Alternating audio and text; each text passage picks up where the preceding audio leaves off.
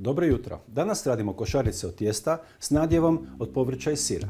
Za to nam je potrebno brašno, orasi, svježe paprike, tikvica, jaja, mini rajčice, sušeni origano, sjeckani peršin, rastopljeni maslac, vrhnje za kuhanje i svježi kravlji sir. Paprike i tikvicu smo očistili i narezali na kockice.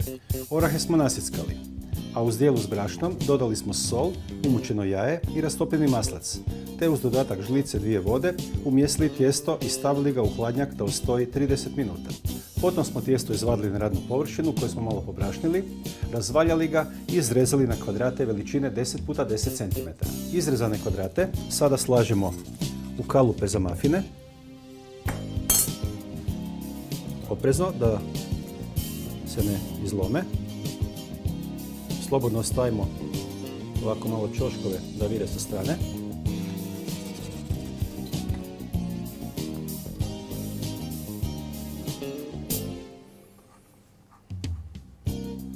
I možemo pripremiti nadjev. U tavu iznad vatre ulijemo ulje, dodamo narezano povrće,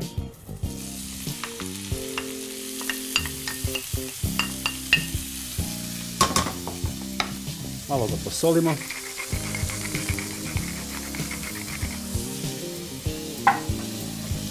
I piremo na srednje jakoj vatri. I nakon 5-6 minuta povrće posipamo sa malo origana i malo brašna. Još malo izmiješamo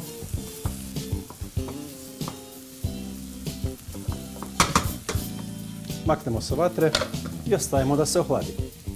Sada u ohlađeno povrće ulijemo vrhnje za kuhanje. Dodamo svježi kravlji sir. Umučeno jaje. Sjeckani peršin. Sjeckane orahe. Još malo posolimo.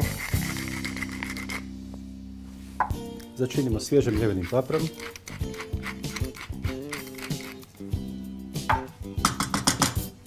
I sastojke izmiješamo.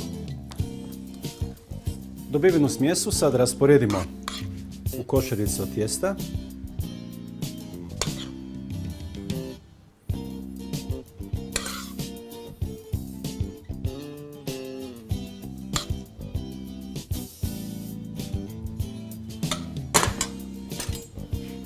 I preko nadjeva slažemo po dvije polovice mini rajčice.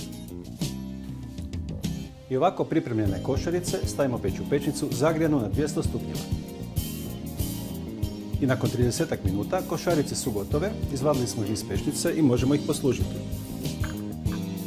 Košarice vadimo na tanjure, ukrasimo ih listićem francuskog peršina i uz njih preporučam bijelo vino graševinu.